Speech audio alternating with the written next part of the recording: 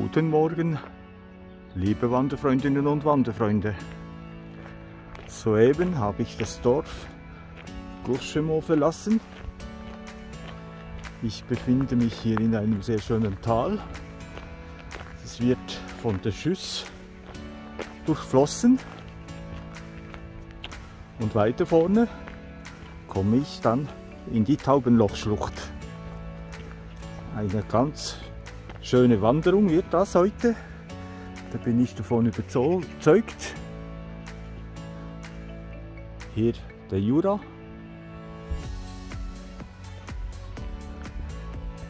Die Wanderstrecke ist, glaube ich, nicht ganz 21 Kilometer lang. Und äh, sollte eigentlich nicht so ein anstrengender Tag werden. Gut, dann wünsche ich viel Vergnügen.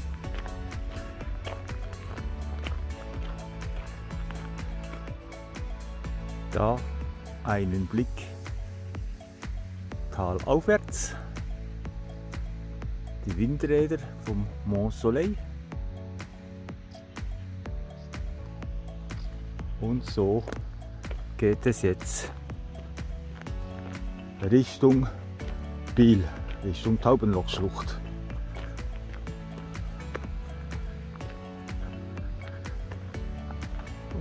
Jetzt kommt da noch gerade ein Zug. Habe ich ja wieder Glück gehabt.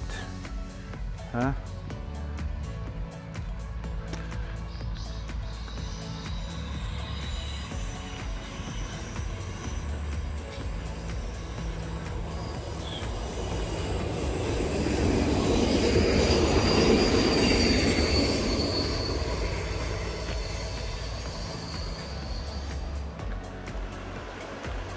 Da ist eine kleine Eisenbahnbrücke und da hinten die Schüss.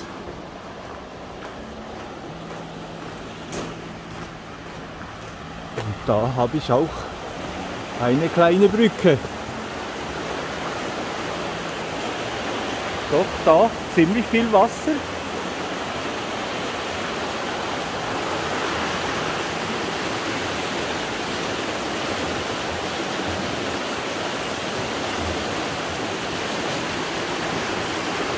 Und mein Weg geht jetzt hier weiter.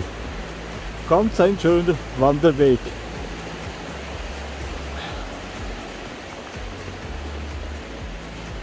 Ich muss euch noch sagen, warum dass ich gerade jetzt diese Wanderung mache. Eigentlich wäre sie wahrscheinlich erst im Winter dran gekommen.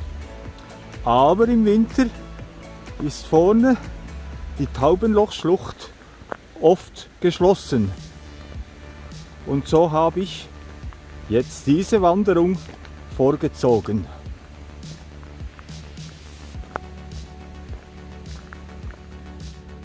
Da hinten trennt sich die Bahnlinie, die auf der rechten Seite geht nach Moutier und die auf der linken Seite nach La Chaux-de-Fonds. Die nach Moutier geht dann hier vorne durch, hier oben da ist die Bahnlinie und geht dann durch dieses Tal, wo man da vorne sieht, auf der linken Seite hoch. Und auf der anderen Seite entspringt die Biers. Das ist auch ein Bach, der kurz vor Basel in den Rhein fließt.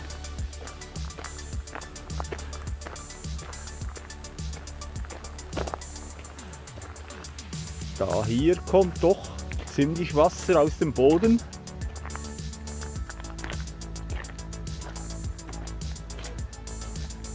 Man sieht gut, dass es sehr viel geregnet hat in dieser Zeit. Da Habe ich wirklich auch wieder, wie schon auf der letzten Wanderung, ein kleines Gästchen, das hier durch den Wanderweg fließt.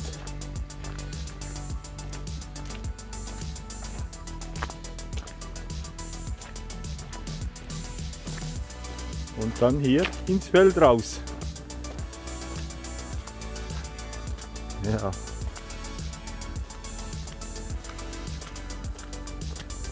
Da kommt schon wieder ein Zug.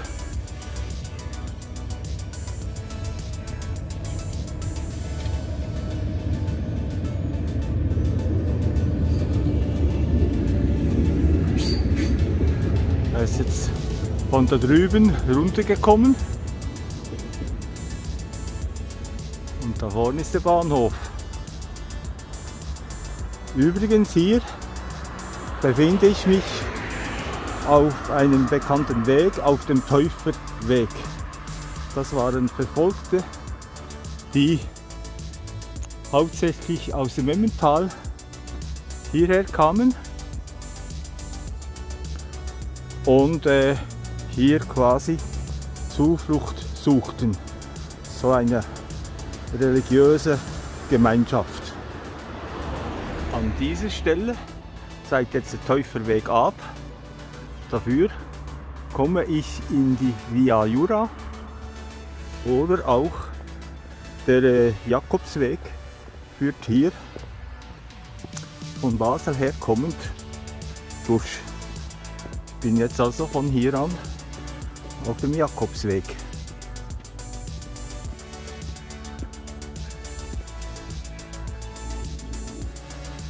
Das ist auch ziemlich ein imposantes Tal.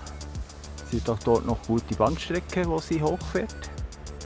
Und hier in meinem Wanderweg kommt jetzt an da vorne die erste Engstelle. Aber die Schlucht, die ist dann noch weiter vorne.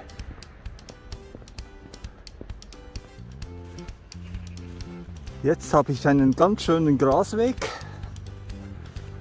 und man sieht hier vorne, wie es enger wird. Das ist also die erste Stelle, wo sich die Schüsse einen Durchbruch graben musste. Und da vor uns der Jura. Ein wirklich romantischer Teil hier.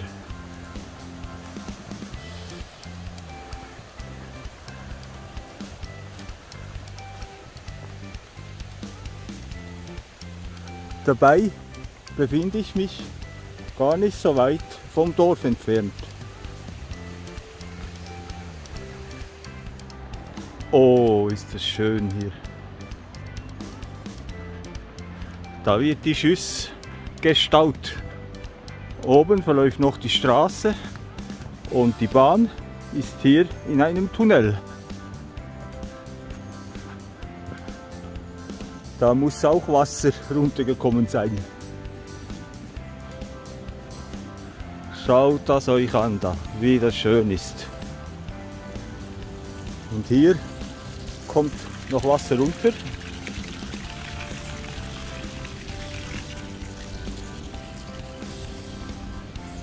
Bisschen morastig.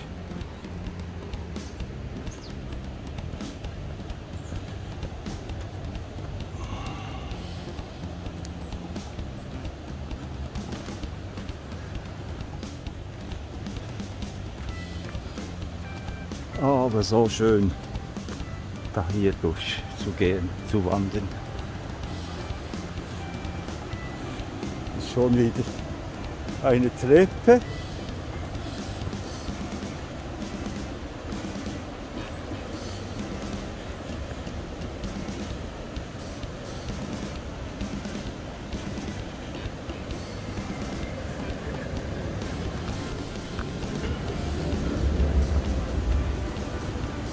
Hier verschwindet das Wasser im Hügel.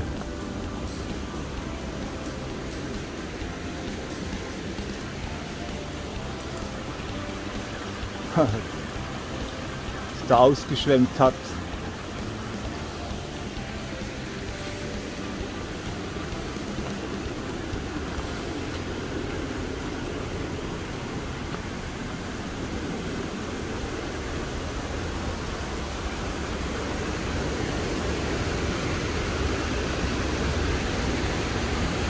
Wie sich hier schon der Bach ein Tal gegraben hat.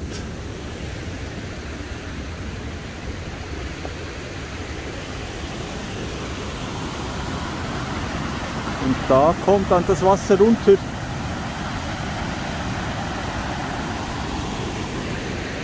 Und fließt hier als deutlich kleinerer Bach weiter. Aber man sieht, hier unten in diesem Gebiet, da war das Wasser auch schon mal vor kurzem. Sogar dort Holz zusammengeschwemmt.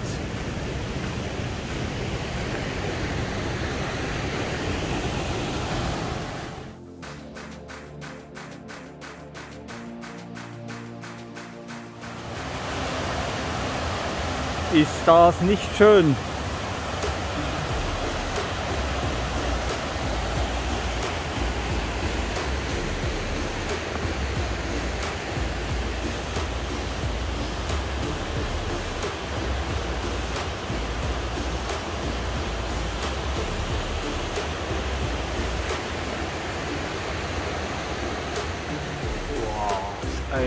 Riesige Flucht.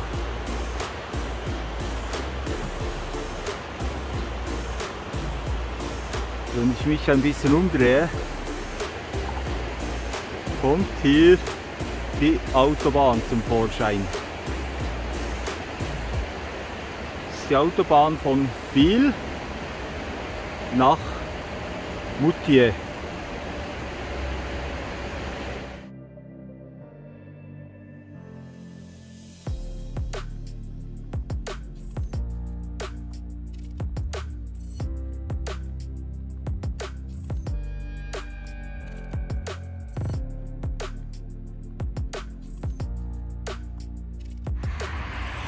Da noch einen Blick auf die Autobahn. Jetzt geht der Wanderweg hier zu diesem Bauernhof hoch.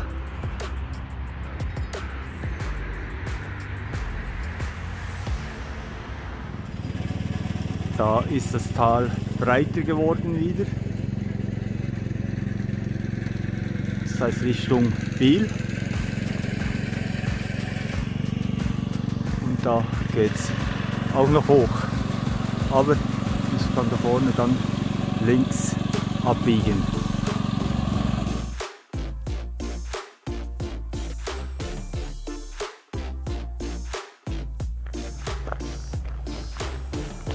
Ein ganz schöner Waldwanderweg.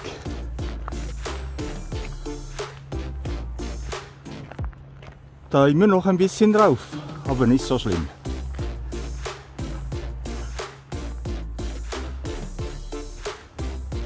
So, jetzt kann ich das, was ich hier alles hochgestiegen bin, wieder da runter. Nach Biel noch 2 Stunden 50. Und da befinde ich mich auf 730 Meter über Meer. Und auch auf den Chasral hoch könnte ich von hier. Sogar zwei Wege. Aber das mache ich jetzt nicht. So, jetzt geht mein Wanderweg hier runter. Es ist ein ganz schöner Wanderweg. Es ist nicht schlimm, da runter zu gehen. Aber man muss trotzdem ein bisschen aufpassen, weil es kann doch auch noch glatte Stellen haben. Aber äh, sonst kann ich mich bis jetzt nicht beklagen.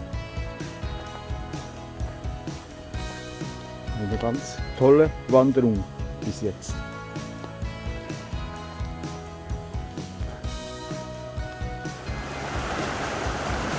Ich habe wieder ein Dorf erreicht. Und hier die Schüsse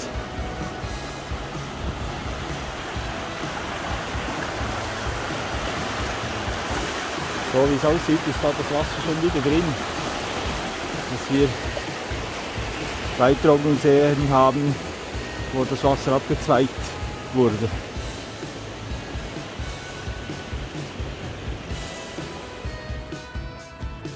Von dort hinten bin ich jetzt gekommen. Das da muss ein altes Schulhaus sein, noch mit einem kleinen Turm. Das hat früher noch oft gegeben. So, jetzt geht mein Wanderweg hier weiter. Das da sind, glaube ich, Nachtkerzen. Kaum war ich im Tal unten, geht schon wieder hoch. Oh, sieht auch schön aus da.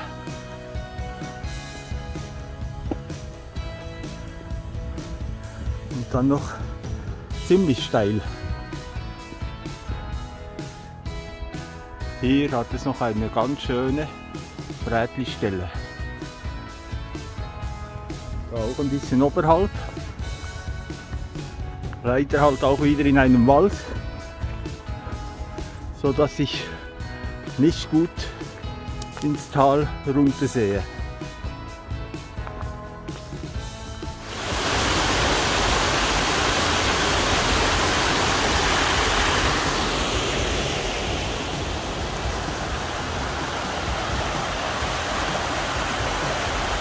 Dieser Bach muss ab und zu auch ziemlich viel Geschiebe mitbringen. Sonst würde da hier nicht so ein großer Schiebesammler stehen. Da sieht man jetzt wieder schön ins Tal runter. Und hier vorne ist die zweite enge Stelle.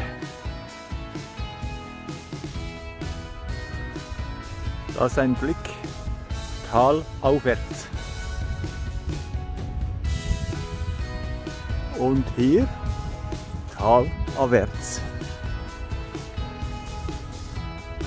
Da vorne in diesem Durchgang, in dem engen Durchgang da, ist noch eine große Zementfabrik. Dort geht der Wanderweg mitten der dem Gelände von dieser Fabrik durch.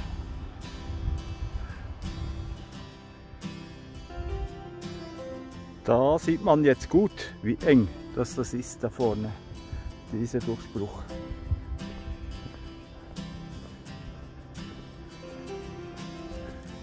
Da komme ich jetzt dann noch durch. Ein schönes Dorf. Bank, Dorfbrunnen, ein Restaurant, das glaube ich geschlossen. Und da sind noch schöne Häuser.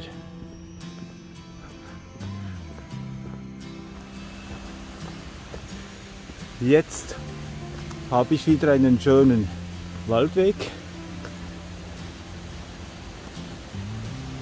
Und da hier vorne geht es dann nochmal bergauf.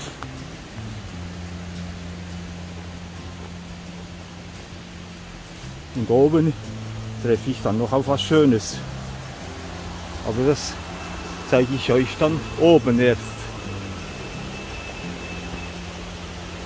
Da auch noch Felsen drin.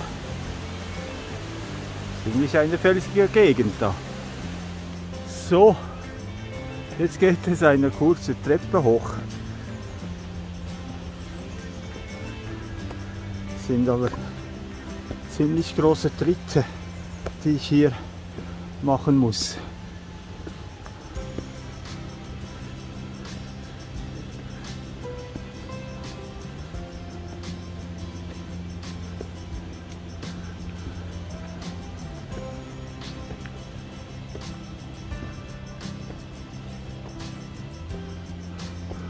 Und das ist da oben eine Ruine.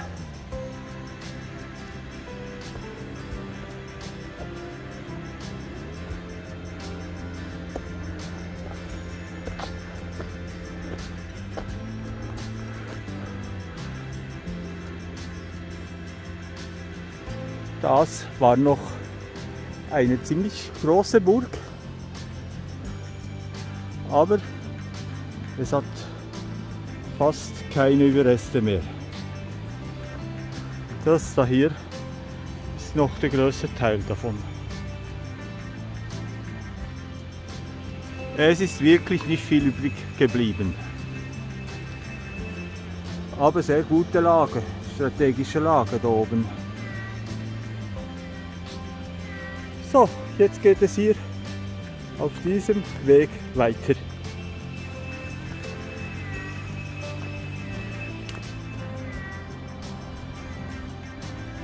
Einen herrlichen Ausblick von da oben. Da sieht man einen Teil von der Autobahn. Die talwärts führende Strecke ist ein Berg. Und wenn ich mich umdrehe, kommt auch ganz was Schönes zum Vorschein. Eine Kapelle.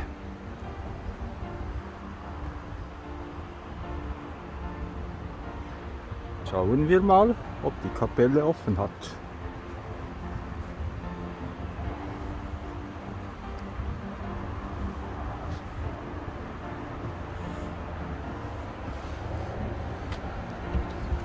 Schade.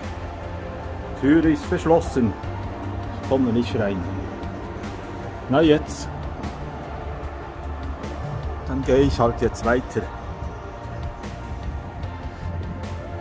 Hier durch den zweiten engen Durchschnitt.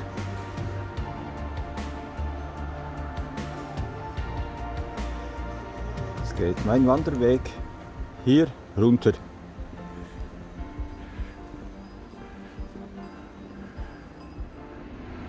Dort oben ist die Kapelle. Da der Bahnhof. Und hier die Autobahn. Und unten, oh, kommt noch ein Zug. Schön, hä?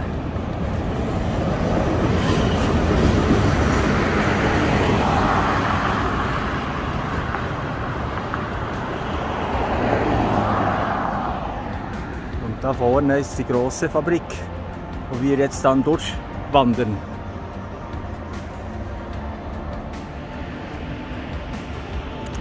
Da hier geht mein Weg voll durch das Fabrikgelände durch.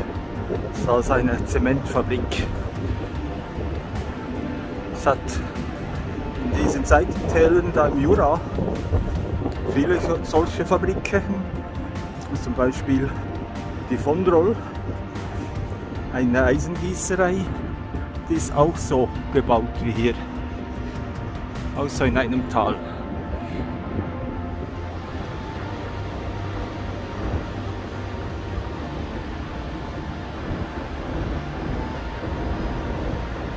Eine riesige Fabrik. Da hier. He?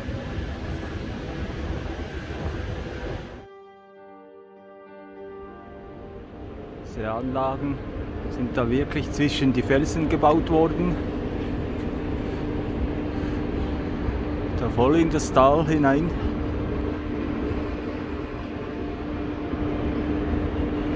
Ja, das ist riesig. Da oben verschwindet zuerst die Straße und dann ein bisschen weiter unten auch die Bahn in einem Tunnel. Oben ist übrigens die Autobahn. Und da kommt schon wieder ein Zug.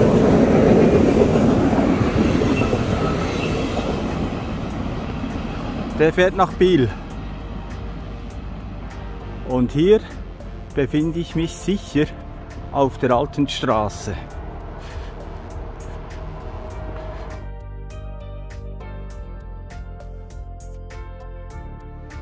Nochmal zurück. Übrigens hier irgendwo hinter diesem Jurarücken hat es noch eine Grube. Und da ist ein Tunnel durch den Fels hindurch gebaut worden zu dieser Fabrik da hinten. Jetzt geht es hier den Trampelpfad hoch. Das ist ein Single Trail. Schön oberhalb von der talführenden Autobahn, also die Richtung Biel.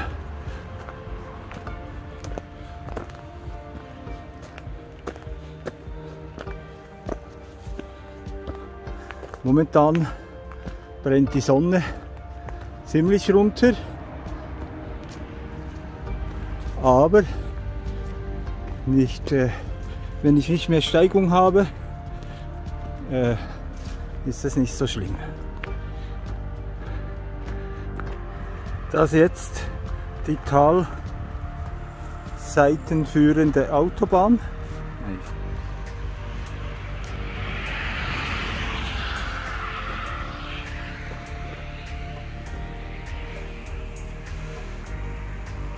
Hier ein Blick talaufwärts und da drüben die mächtigen Felsen.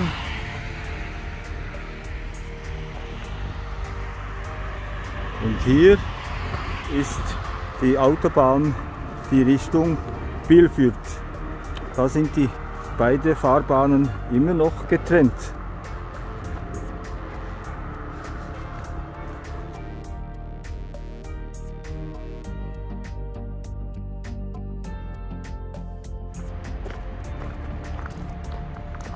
Schöner Wald, leider von der Autobahn her noch ein bisschen laut. Aber jetzt ist es uns sehr schön. Überhaupt die heutige Wanderung hat mir bis hierher sehr gut gefallen. Und das große Highlight kommt ja jetzt dann weiter unten noch.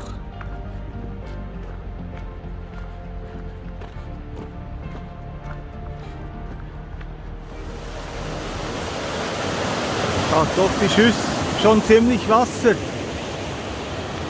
Und hier ist noch ein Kraftwerk. Es muss noch ein neueres sein. Und da kommt auch ziemlich viel Wasser raus.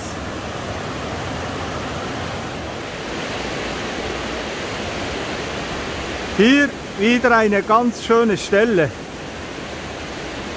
Die Wanderer, die weiter unten in die Taubenlochschlucht einsteigen, die sehen das da hier leider nicht.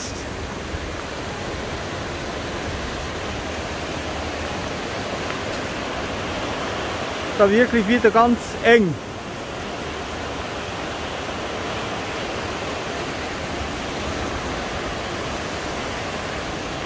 Und sehr interessant.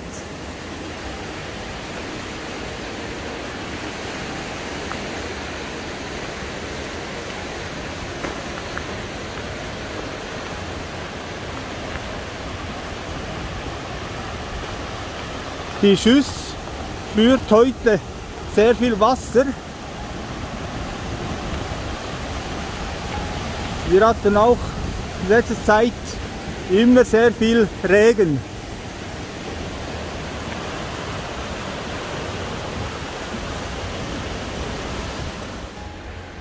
Da vorne wird wieder das Wasser gestaut.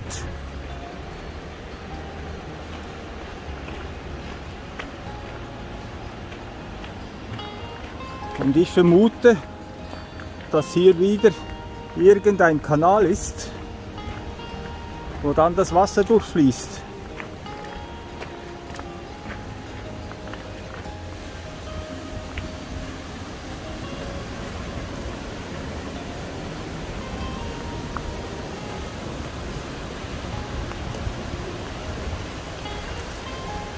Da muss eine größere Stauvorrichtung sein.